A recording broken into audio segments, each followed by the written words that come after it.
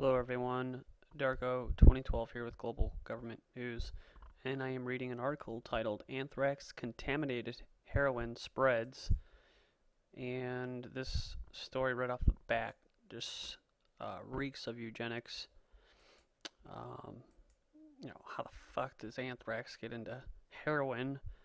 Um, you know, I don't know how many people remember the um, heroin that went around in Chicago um, maybe three, four years ago. I don't know. Time flies now, but yeah, there's a big bad batch of heroin that went around uh, in Chicago, killed a lot of people. I mean, it was deadly, and uh, so we, I think most of us in, that are uh, privy to the CIA dealing in the drug trade to fund their unconstitutional wars. Um, also, um, the bankers, Chase Manhattan and all them, the Citigroup who funded the Nazis and all that, Nazi banks, um, are also in the drug trade. And down in Mexico, you can see, uh, yeah, obviously the the government doesn't really run anything. The government is run by the cartels, and the and the cartels, um, where basically there was a lot of them were sc- uh, squashed out of competition. Um, the smaller ones that were allowed to exist uh, because the bankers are consolidating everything. They're consolidating uh, all of their power and their wealth and their banking industry, their drug industry. And so uh, these are just one of those little things that happen, right? Where anthrax, oh, anthrax and heroin. Uh, British authorities today warned drug users that heroin in London was highly likely to be contaminated with anthrax after a first confirmed case uh, there in the following nine deaths in Scotland. Quote, while public health investigators are ongoing, it must be assumed that all heroin in London carries the risk of anthrax contamination, said Dr. Brian McCloskey, who is the director of the Health Protection Agency, HPA, in London. Heroin users are advised to cease taking heroin by any route, if at all possible, and to seek help from their local drug treatment services. Right. Um, McCloskey added that the risk to the general population was negligible. Anthrax has been found in 19 heroin users in Scotland since December, and nine of those people died, six of them in the Glasgow area. The first case in London was confirmed yesterday, and the user was in a hospital receiving treatment. Uh, similarities to the cases in Scotland suggest that the heroin, or a contaminated cutting agent uh, mixed with the heroin, is likely the source of infection.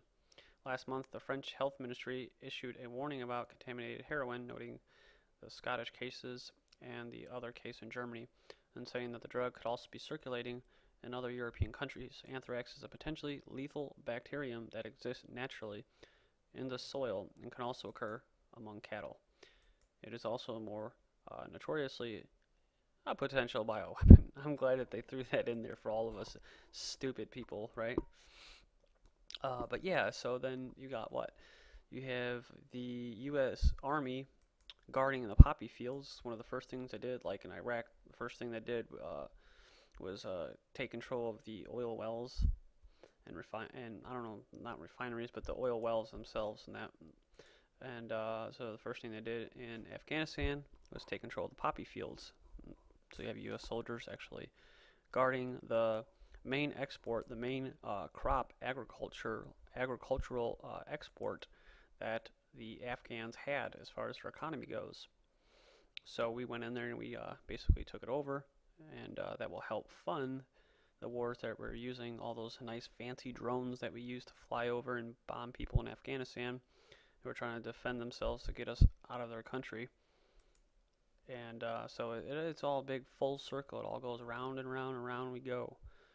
And um, so yeah, maybe uh, maybe this anthrax would just uh, happen to be naturally made, and uh, you know maybe the chemtrails are really just contrails, and fluoride's good for you, and and uh, yeah, so. But uh, yeah, just one last point here is uh, the bankers are eugenicists, and they uh, all they're all about population control, and uh, you know they make you think like the biggest reason for you know they make you um, almost take their side as far as there being too many people on the planet, and not enough food.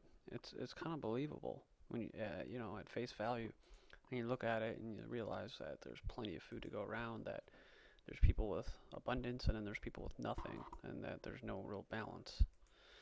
And uh, so yeah, so they don't really believe that there's uh, too many people. It's just their kind of front, their cover for uh, the real agenda, which is to call the population at least down, you know, minus 80% of what it currently is. Uh, at least, you know, 6 billion to 2 billion. And they do it in all forms, um, especially in your food. Um, but I would recommend to most people out there that um, do use recreational drugs to uh, probably, you might want to start thinking about uh, stopping um, pretty soon. Um, not to preach or anything, but you know, most of this stuff is coming through them, and they control the drug trade. Like I said, intelligence agencies are the ones that dole it out. So it's uh, and that's used to fund our enslavement. So not only are you uh, supporting that, but then you're also, you know, um, setting yourself up to become uh, another statistic of the New World Order, right? But uh, it's all the only reason they want to call the population really is because there's too many uh, mouths, as they say, too many mouths to feed, uh, or just too many mouths, right? And there's too many people to control. It's harder, it's easier to control when there's less people, obviously. So um, they're gonna have a great purge here in the near future, and uh, let's just hope, you know, let's just try to not be part of that and and volunteer to be part of that. So that's all I have to really say about that. Besides, you know, here you go, U.S. government uh, used uh, biological weapons legislator says 2001 attack anthrax attacks part of government bio program, and that was a very credible person, Francis Boyle, um, who's very uh, high up there in the academic field, scholar, and uh, he you know he basically says that uh, 2001 anthrax um, was uh, manufactured out of Fort Detrick in Iowa, uh, Fort Detrick, Maryland, I believe. Um, so, anyways, uh, just thanks for checking this out. And as Nancy Reagan said, just say no.